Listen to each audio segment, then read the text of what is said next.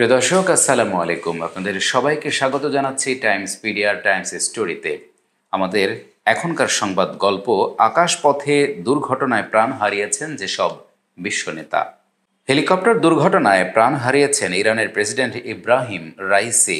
সোমবার বিধ্বস্ত হেলিকপ্টার থেকে তার মরদেহ উদ্ধার করা হয়। তবে রাইসি প্রথম নন, এর আগেও বেশ কয়েকজন রাজনৈতিক নেতা আকাশপথে দুর্ঘটনায় নিহত হয়েছেন।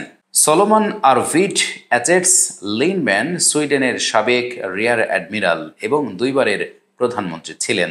উনিশশো ছত্রিশ সালের নয় ডিসেম্বর এক বিমান দুর্ঘটনায় তিনি নিহত হন। রেমন ম্যাক্সাইসাই ছিলেন ফিলিপাইনের সপ্তম প্রেসিডেন্ট।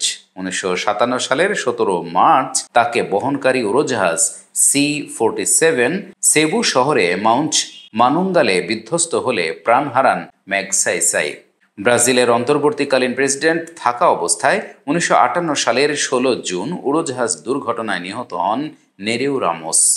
ইরাকের দ্বিতীয় প্রেসিডেন্ট আব্দুস সালাম আরিফ উনিশশো ছেষট্টি সালের তেরো এপ্রিল উড়োজাহাজ বিধ্বস্ত হয়ে প্রাণ হারান। উনিশশো সাতষট্টি সালের আঠারো July Piper PA two three Aztec ও ব্রাজিলের বিমান বাহিনীর লকহিট টি থ্রি থ্রি উড়োজাহাজের মধ্যে মাঝ আকাশে সংঘর্ষে প্রাণ হারান ব্রাজিলের ছাব্বিশতম প্রেসিডেন্ট হামবার্তো দে আলেনকার কাস্তেলো ব্রাঙ্কো।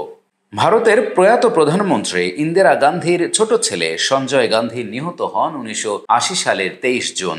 দিল্লির সফদরজং বিমানবন্দরে সঞ্জয়ের উড়োজাহাজ নিয়ন্ত্রণ হারালে তার মৃত্যু হয়। লেবাননের প্রধানমন্ত্রী রাশিদ কারামি উনিশশো সাতাশি সালের এক জুন বৈরুত যাওয়ার পথে হেলিকপ্টারে বোমা বিস্ফোরণের ঘটনায় নিহত হন। পাকিস্তানের ষষ্ঠ প্রেসিডেন্ট জেনারেল মোহাম্মদ জিয়াউল হক উনিশশো আটাশি সালের সতেরো আগস্ট নিহত হন।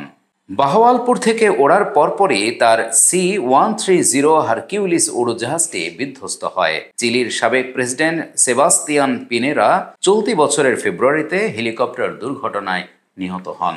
প্রিয় দর্শক, টাইমস স্টোরির এই ছিল এখনকার আয়োজন। পরবর্তী সংবাদ দেখার আমন্ত্রণ জানিয়ে এখানে বিদায় নিচ্ছি। আল্লাহ হাফেজ।